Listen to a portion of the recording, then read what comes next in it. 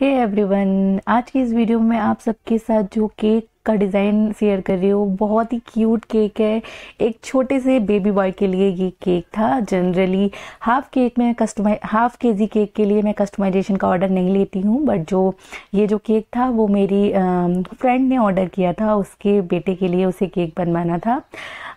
Specially ये ये एक थीम केक था छोटा मोटा कस्टमाइजेशन मुझे करना था। और जो ये थीम केक था, वो फ़र्स्ट टूथ के लिए भी था और नाइन मंथ उसका बेबी नाइन मंथ का कंप्लीट हुआ था तो उसके लिए भी था। तो एक ही केक में लगभग मुझे दोनों चीज़ें बनानी थी। फ़र्स्ट टूथ केक भी था और नाइन मंथ केक भी था।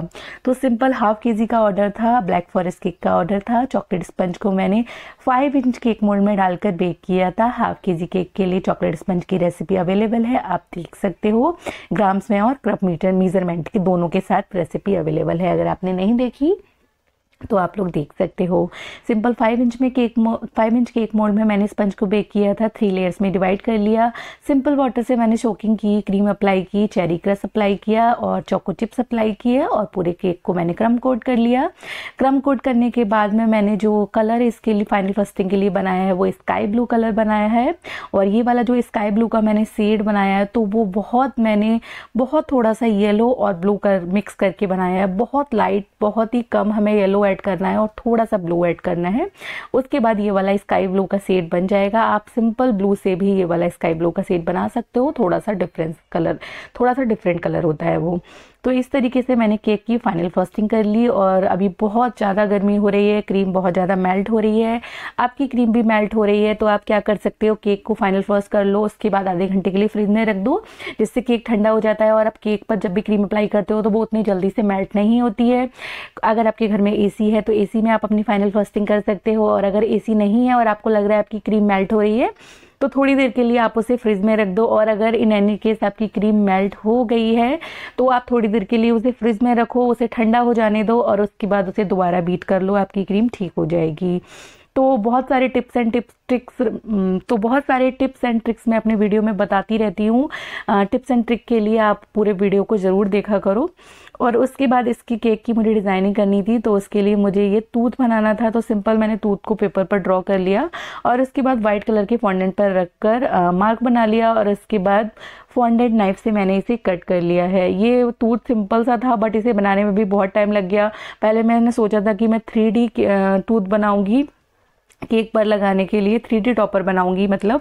पर थ्री डी टॉपर जो बना रही थी मैं, पर मौसम इतना ज़्यादा वेदर इतना ज़्यादा रेनी था, बारिश हो रही थी, उसकी वजह से फॉन्डेंट में बिल्कुल भी स्टिफनेस नहीं आ रही थी तो मैंने डिसाइड किया कि मैं टू डी टॉपर बनाऊँगी और उसे केक के ऊपर प्लेस कर दूँगी। तो इस तरीके से मैंने हाथों से अच्छे से स्मच करके सारे कॉर्नर्स और साइड्स को मैंने स्मूथ कर दिया और इसके बाद ये क्राउन बना दिया है और उसके बाद सबसे पहले मैंने सिंपल वाटर थोड़ा सा लगाकर ब्रश की हेल्प से ये आईज बनाई हैं उसके बाद आईब्रोज बनाए हैं और उसके बाद मिडिल में मैंने छोटा सा ये जो फॉन्डेंट टूल्स होते हैं उनकी हेल्प से मैंने इस आ, उसका माउथ बना दिया है और थोड़ा सा मैंने आ, ब्लश आ, बोलते हैं ना ब्लश मैंने लगा दिया है और उसके बाद ये मैंने सिल्वर सॉरी गोल्डन डस्ट ली है।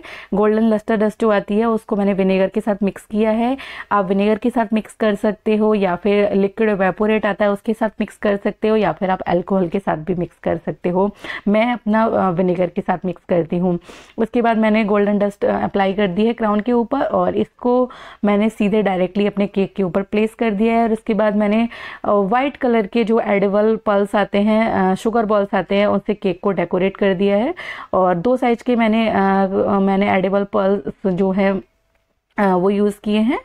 और उसके बाद जो क्राउन था वो नीचे की साइड में बिल्कुल भी स्टिफनेस नहीं आ रही थी तो नीचे की साइड में झुक रहे थे तो मैंने उसके नीचे जो बड़े वाले वाइट कलर के सुगर बॉल्स थे, उनको रख दिया है। इससे क्राउन क्राउन भी डिसेंट लग रहा है, बहुत प्यारा लग रहा है, और जो स्टिफनेस नहीं आ रही थी, वो भी उसकी वजह से भी अब जो क्राउन है वो नीचे की साइड नहीं झुकेगा। तो इस तरीके से ये केक बनकर कंप्लीट हुआ। केक पर मुझे जो मैंशन करना था, वो मैंने मैंशन कर दिया। सिंपल सा केक था, पर बहुत ही क्यूट केक केक लग रहा था, बहुत ही प्यारा सा केक था। तो इस तरीके के डिज़ाइन आप लोग बना सकते हो। टू डी टॉपर्स कम फॉन्डेंट में बन जाते हैं और टू डी टॉपर को प्लेस करना भी आसान होता है। तो इस तरीके के डिज़ाइन भी आप बना सकते हो। कमेंट करके बताओ कि आज का वीडियो किस किस को अच्छा लगा, ये क्यूट सा केक किसको अच्छा लगा और ये भी कमेंट करके बताओ, कल वीडियो नहीं आया था तो किस किस ने वीडियो को मिस किया। फिर मिलेंगे नेक्स्ट वीडियो में। बवाई टेक